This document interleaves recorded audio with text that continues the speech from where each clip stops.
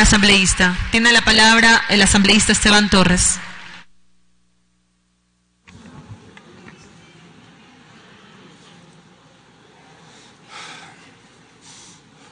Gracias, señora presidenta.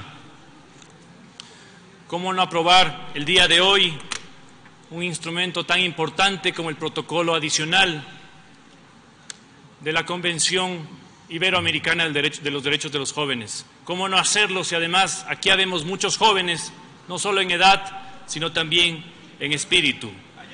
¿Cómo no hacerlo cuando además existe un voto unánime de la Comisión y cuando ya pasó el control de constitucionalidad de la Corte Constitucional. ¿Y cómo no aprobarlo además, señores asambleístas, cuando en Venezuela en estos momentos hay miles de jóvenes, millones de jóvenes luchando por la libertad de su pueblo, de su país? ¿Cómo no hacerlo cuando Juan Guaidó, presidente joven de la República de Venezuela, lucha estos momentos por liberar a su pueblo? Adelante, jóvenes. Adelante, que el Ecuador le respalda. Latinoamérica le respalda y el mundo entero le respalda. Una nueva aurora para Latinoamérica y para Venezuela. ¡Viva Venezuela! ¡Que viva!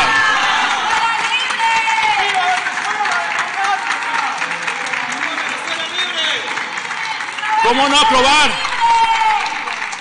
¿Cómo no aprobar además, señores asambleístas, un protocolo que en su capítulo primero establece el derecho a la paz, el derecho a la seguridad, porque Marta es una joven y porque Diana fue una joven y porque aquel pequeño niño que murió también pudo haber sido un joven. ¿Cómo no aprobar, señores, un protocolo que amplía derechos en lo que se refiere a la vida, a la justicia, a la integridad personal y a la participación política? Me uno a la moción presentada por el asambleísta ponente de aprobar de forma unánime este importante instrumento internacional. Gracias, señora presidenta. Gracias, señora asambleísta.